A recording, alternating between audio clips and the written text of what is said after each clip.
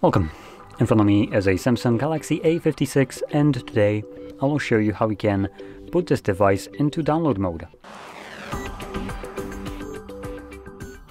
So, for this you will need a cable. You want to plug it into your computer and once you have that ready, hold your power button and the volume down at the same time and from the boot options select power off. When the device turns off, you want to hold both volume up and volume down at the same time, and when holding them, you just plug it in. So, holding them right now, and plug it in, and faintly in a moment you'll see, there we go.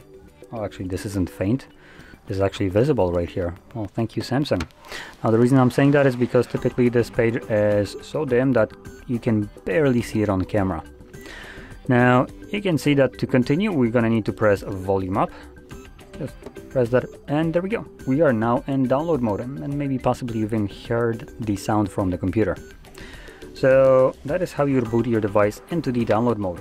I'm gonna unplug it as I'm not planning to do anything here.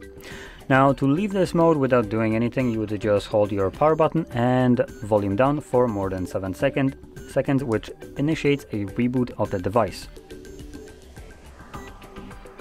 So once the screen disappears, you can let go of the buttons. And I believe we need to hold the power button or not. It looks like it turned on automatically on its own. So yeah, so when you hold them, it will reboot the device and then start booting back up into Android. And there we go. So if you found this very helpful, don't forget to hit like, subscribe, and thanks for watching.